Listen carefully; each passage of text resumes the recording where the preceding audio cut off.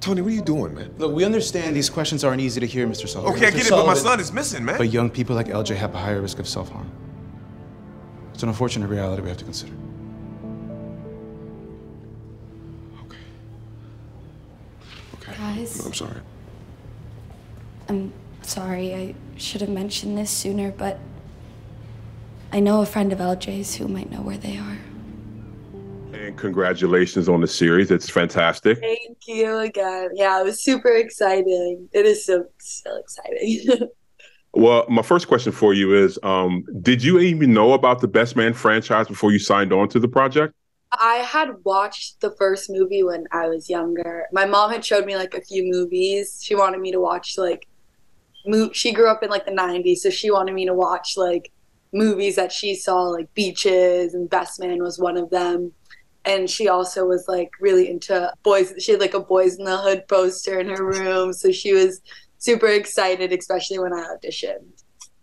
So you went back and watched the first one, and then you watched the second one, obviously to prepare for the role. yeah i when i got it i had to go back I, I am in school so i had to go back from school to the city and when i did that I, when i was like on the bus traveling home i watched the first one over again and then i watched the second one but i kind of watched it in a different way than i had watched it previously because i was like younger i was just watching for fun this time i was like trying to understand my parents more and like understand all the other characters the storyline so Uh, for our viewers, can you tell us about your character Kennedy in the show?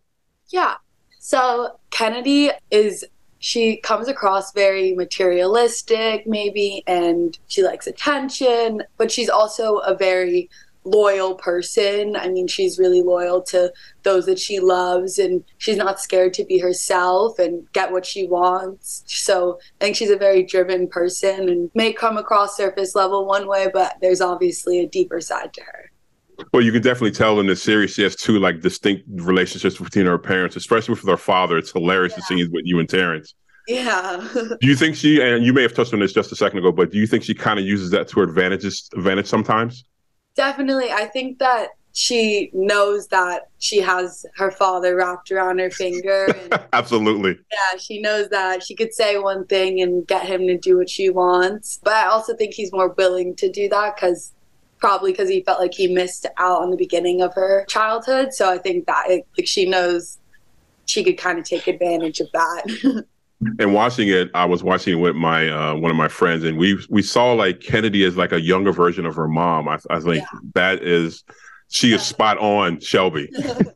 I feel like it, like her tactics don't work on Shelby because she more she like probably learned half of them from her. You know what I mean? Like saw her growing up and and learned how to be that way. And so I think Shelby sees more through her her tactics and stuff like that.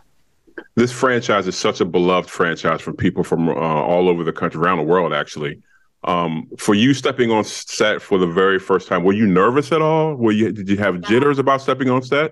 I was definitely nervous, and this is definitely the biggest role that I've had. So that was extra nerve, like nerve wracking. But the first day I was with Terrence Howard, Harold Perrineau, Perrineau and then Samantha and Jamila, who play um, Keisha and Kelly, and they were all so nice and welcoming the first day, and like Terrence came over and sat with the kids and chatted with us and I really felt like it was a very welcoming environment. The crew was also very like amazing, welcoming to me and my mom. They were she was on set with me, so everyone made it too. It was nerve wracking, but everyone was really nice. So One of my favorite friendships in this series is the one between Kennedy and LJ, and I think they kind of both rely on each other in in in, the, in this series. Would you agree with that? I definitely agree with that. I think you really see a softer side of Kennedy when she's with LJ. Yes. So I think they both can kind of be their true selves. And I think she loves LJ for who they are, regardless of what they wear, anything. And I think that LJ sees that and knows that Kennedy is someone that they can go to and they won't be judged and they can be their truest self. So I think they kind of both look for each other, look for that in each other. many of your your big scenes are with Terrence and Melissa, and you guys have such a great dynamic on screen together. First, what was it like working for people who've been in the business for so long and are so great at what they do? And did you, between takes, get a chance to pick their brains about the the industry and anything like that? Oh, well, it was definitely great. I met them when I first met them. They were both like, "Oh my god!" Melissa was like, "Oh, you're my daughter," gave me a hug. It was so sweet. And Terrence, like, throughout the I worked with him a lot and so one like in the scene where we were dancing at Harper's his party or something uh, he like gave me his jacket because it was cold where we were he was very nice and always looking out for me and same with Melissa they were both so sweet and it's great to see them together and I really learned to like go they both ad lib a lot and like add their own stuff and I felt like that was cool to watch and see how they like added their own twist to it and I felt like it honestly like made it natural and added to it a lot. And you know, on top of them, you got Harold and you got Nia, and you, I mean, the cast in this film in this series is just absolutely incredible. Yeah. What was it like working with the rest of them that you got to do some stuff with?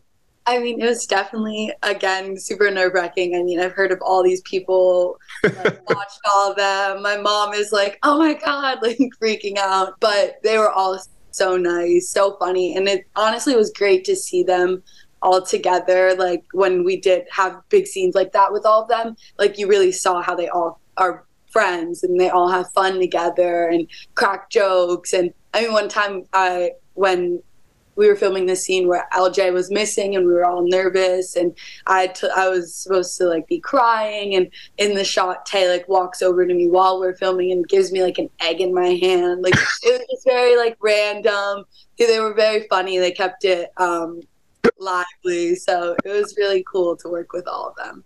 Well, Malcolm D. Lee is the the writer and the director of the series. Um, can you talk about what it was like working with him on set, and how collaborative was he with you on set? He was on also. Everyone was amazing, honestly, but he was also great. He was there the first day, and I was taking a picture with Sammy and Jamila, and he like popped in the background. So and he also you could tell really cares about the franchise and all the actors like he was joking around with all of them and always made me feel included and also other producers like dominique and dana they were also really great and really made me feel like comfortable and welcomed and were really supportive so everyone was honestly amazing I, know you're you're you're you're you're you're just coming up in the business, and and for viewers like myself, it's important to see films and series like this with all black characters with positivity and, and doing having great jobs and stuff like that. Yeah. For you, what was it like? How important was that to you when, when it came to being part of this project? I mean, I think that's super important. I think that there's, like you said, not that many like shows that show that. I think it, this show really shows like a great side of uh, black people and it shows their relationships. And honestly, it was great working with an all black cast and all black crew or mostly black crews very inspirational, honestly, and to be with all these like the most successful black actors is just amazing and to have them all in the same space was great and i think that a lot of people who watch it like i think especially kids like see very successful people and playing successful characters i think that's really important and one of my final questions for you is for viewers who are coming back to this franchise to watch this series what, if anything, would you like them to take away from watching this series? Just to watch it, have a good time, or a little bit of a message? What would you like? Well, I mean, definitely a good time because I think it's really funny, but also I think that it touches on a lot of different topics and accepting different things, and everyone has different things going on in their lives, accepting uh, death, accepting divorce, accepting that they're getting older, accepting their children, just a bunch of like everyone has different issues and things going on in their life. So I think that honestly anyone who's watching it can relate to at least one of the characters in some shape or form because they're all going through such different things but come together. So yeah. I think it has a lot of different messages. I mean, I know you just said you were going to school, but are there any other uh, upcoming projects you have that you can talk about, or you have to be hush hush on anything right now? Oh, nothing I can share about. Hopefully, a few things are going to come soon, but yeah.